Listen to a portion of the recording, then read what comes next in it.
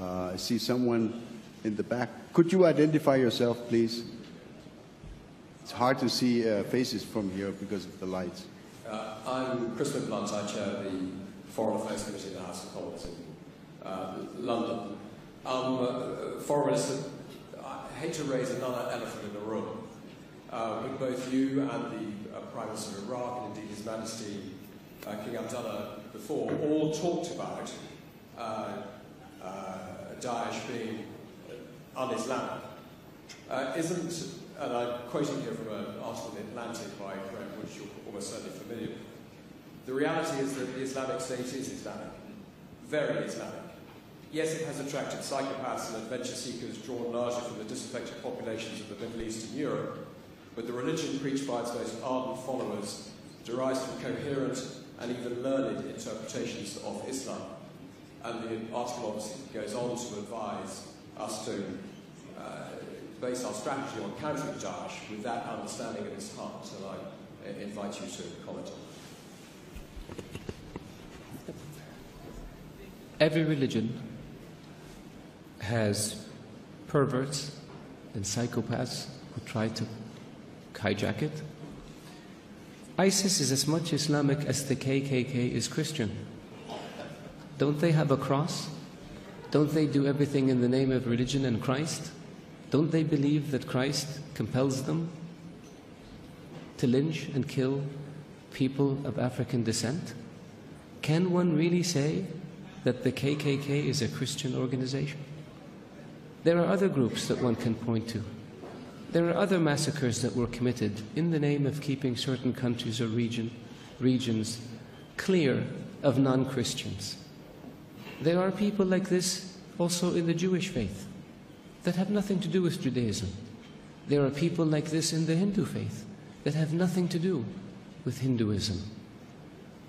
For anyone to argue that Daesh is Islamic is preposterous. In the Islamic faith, the Quran reveals that you have your faith and I have my faith. And you're free to practice your faith and I'm free to practice mine. What greater sign of tolerance and acceptance do you have than this? In the Islamic faith, it says, He who kills an innocent soul is as if he has killed all of humanity. And he who saves an innocent soul is as if he killed, as if he saved all of humanity. What more, what better example of compassion and mercy do you have than this? So if you look at what Daesh says and you say it's in the scriptures, doesn't the Old Testament say an eye for an eye and a tooth for a tooth? If somebody does it today, would you say they were Christian or they were Jewish? So I caution people because it seems to have become almost novel. Not novel, it's become, it's become the flavor of the day to try to read things into Daesh or into Islam that are not there. The Islamic religion and Islamic civilization was the civilization that preserved the history of Greek and Rome and passed it on to the West. Western civilization would not exist without the Islamic Arab civilization.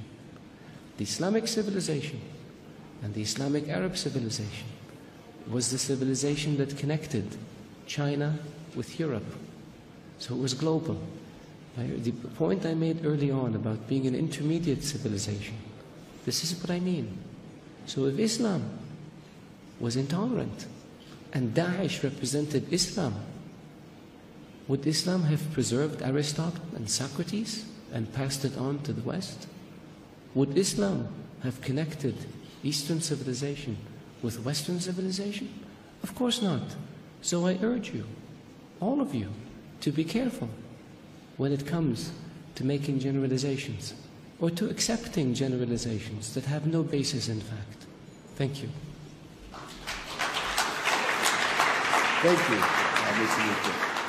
Final question is that Anne Marie Slaughter? It is. Good. Hi, uh, Anne Marie Slaughter, the President and CEO of New America. Hi, Anne. Uh, thank you very much for addressing uh, the issue of women in your country. I think you are right to see that this is an increasing issue for many in the world, and it should be addressed openly.